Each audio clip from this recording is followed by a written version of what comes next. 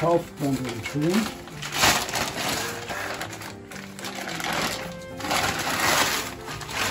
Und dann muss er geschlagen werden, weil da Luft drin ist. Und wenn man Luft hat und dreht an der Scheibe, dann geht der Scherben beim Brennen kaputt.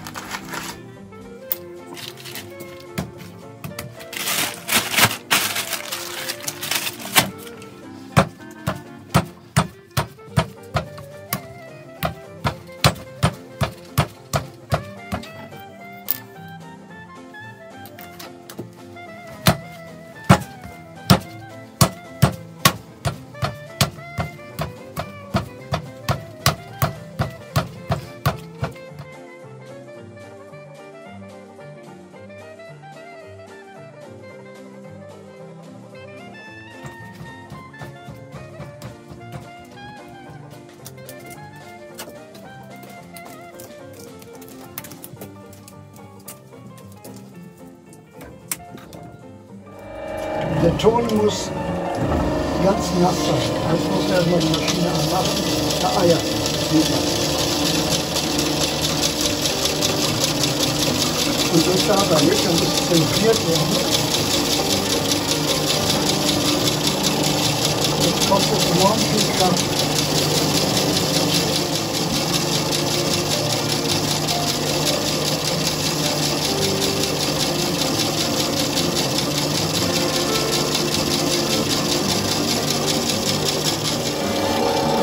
Und dann wird das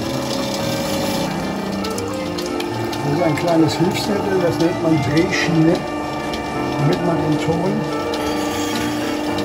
glatt ziehen kann. Das ist eine der simpelsten Formen, die man erst lernen muss, wenn man Töpfern lernt. Töpfern heißt alles das, was an der Scheibe gemacht wird. Das ist Töpfern. Man kann auch auf der Scheibe ja nur runde Sachen machen. Und daraus könnte man jetzt äh, nochmal eine Vase oder was auch immer, ein kleines Behältnis machen. Das liegt jetzt immer an dem Geschick des Töpfers. Was will er machen? Was gibt der Ton her? Wie viel Ton hast du? Und welche Form soll, soll entstehen?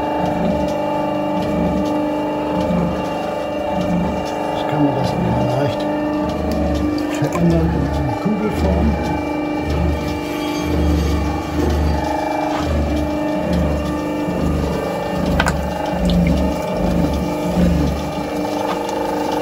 Ganz wichtig dabei ist, dass die Scheibe, die kann man regulieren mit dem rechten Fuß, ist so ein Gaspedal. Neben Ludwig eine passende Umdrehungszahl damit das Ding nicht auseinanderspringt, fließt, fliegt, sondern die Form annimmt, die ich ihm aufzwinge.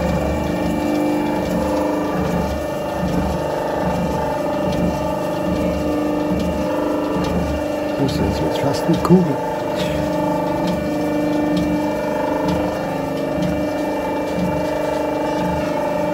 Aber das ist natürlich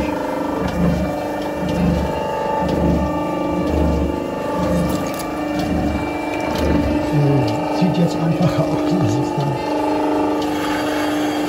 Dann kann man unten ein bisschen wegnehmen, wenn man es etwas brauchiger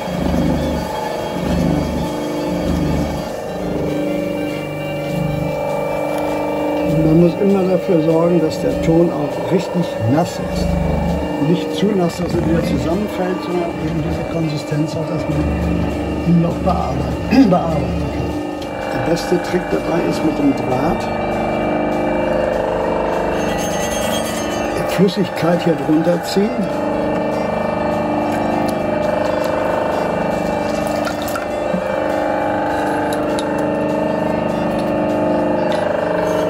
Damit er sich von der Scheibe löst. seht, wie weich das ist.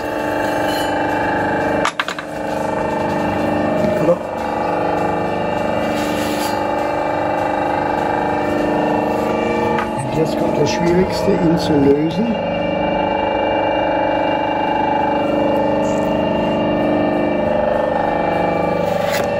So.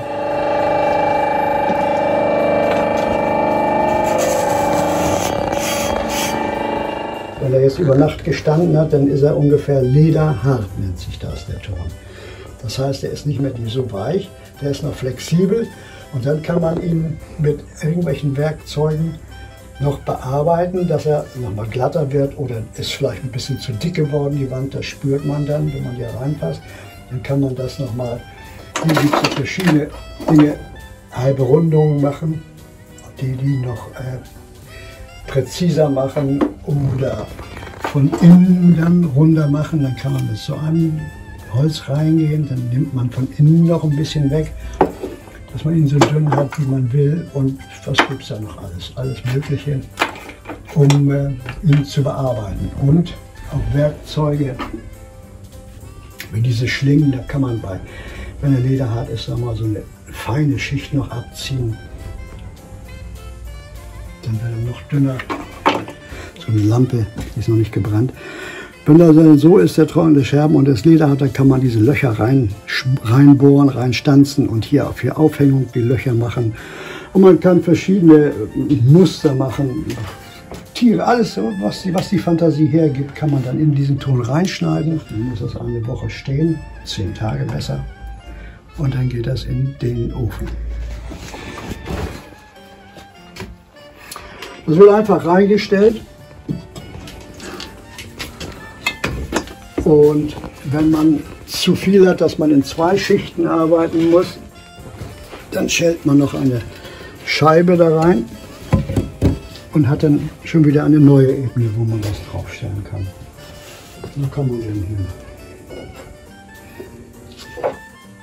Lass mal sich das mal, mal so machen, bis es voll ist und bis in diese Höhe. Und dann wird der Ofen geschlossen und dann wird er hier eingeschaltet.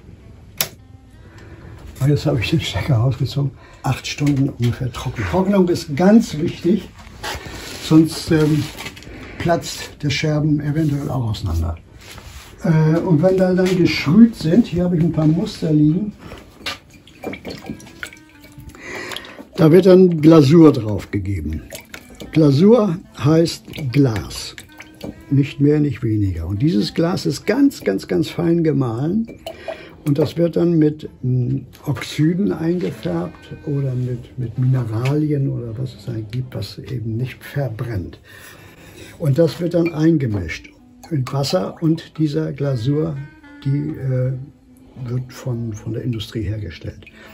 Die färbe ich dann ein, nach, je nachdem, was ich äh, für eine Farbe haben will.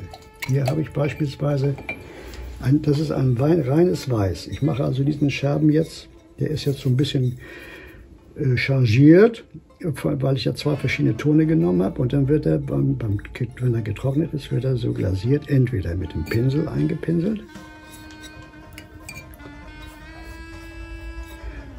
Und dann ist man meist wenn jemand die, den, sagen wir, auf, auf, als Auftrag gegeben hat und man sieht das, dann sagt man, ich will das ja nicht so weiß haben. Das soll doch bleiben, die Farbe. Und das tut sie auch, aber im Augenblick nicht. Erst wenn jetzt gebrannt wird. So, das wird, diese Glasur wird ganz weiß. Bis sie trocken ist. Ich kann diese Seite auch noch glasieren. Dann muss das erstmal trocknen. Auch wieder, wenn es geht, fünf, eine Woche oder, naja, nicht ganz so viel, aber bis es richtig eingetrocknet ist. Und dann wird dieser, dieser Scherben dann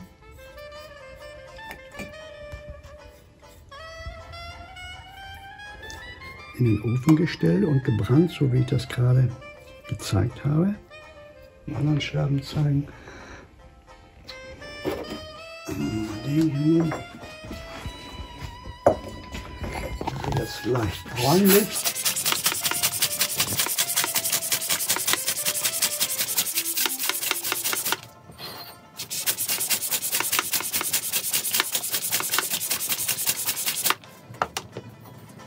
So, das muss hier, dann fehlt noch ein bisschen.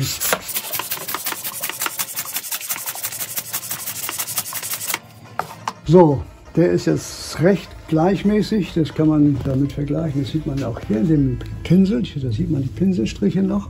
Das verläuft nachher ein bisschen beim Brennen, aber hier ist es von vornherein ganz sauber, gleichmäßig. Das ist die ursprüngliche Farbe und das wird jetzt weiß. Und das ist auch, wenn es gebrannt wird, in dieser glänzenden Farbe. Das ist die Glasur. Und das ist dann auch, da kann kein Wasser mehr rein, das kann man dann abwaschen und, und Spülmaschinen fest und dergleichen. Und Lebensmittel echt. Jetzt für die neue Ausstellung sowas, so Spielereien gemacht. Die sportliche Dame.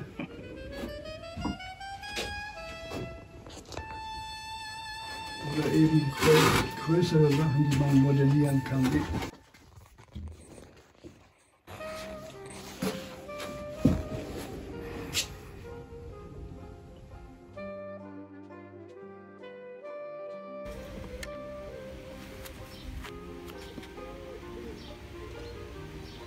Ich habe also nicht, nicht bewusst viele Sachen, das ist eben so.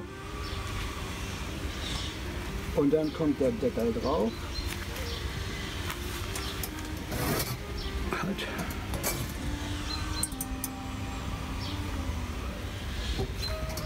Dieses Loch ist da, damit die Flamme leben kann da drin.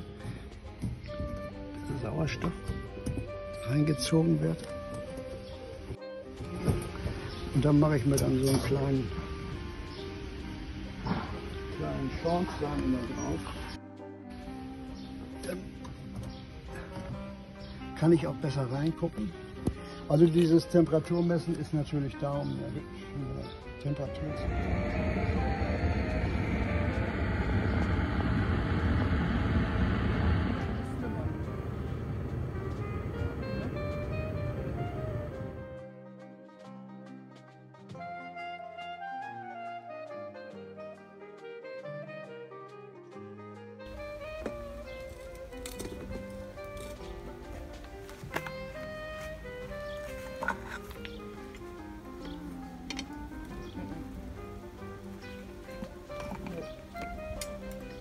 aber gleich, wenn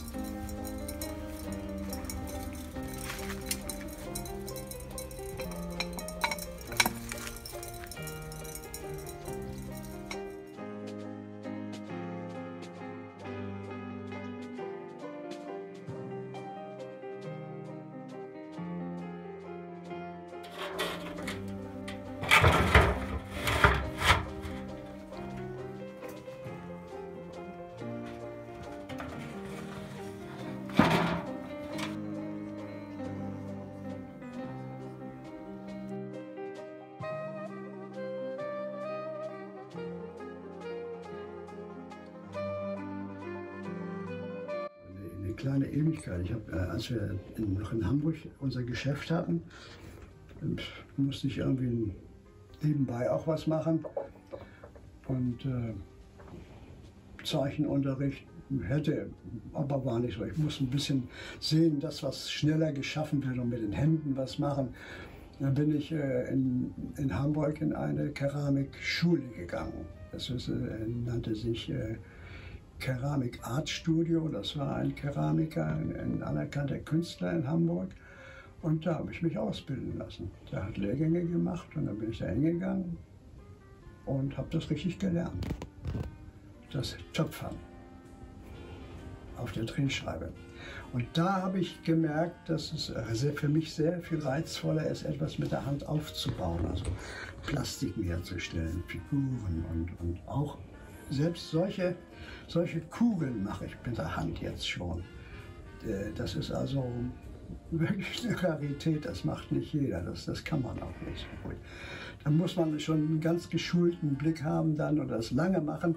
um zu sehen, stimmt die Form, ist die jetzt gesund oder eiert die oder wenn man es nicht unbedingt will, es gibt auch Figuren oder Formen, da habe ich äh, ein Oval draus gemacht. Aber das ist gewollt. Aber das, um das zu machen, muss man viele, viele Jahre also üben und das darf man nicht vernachlässigen.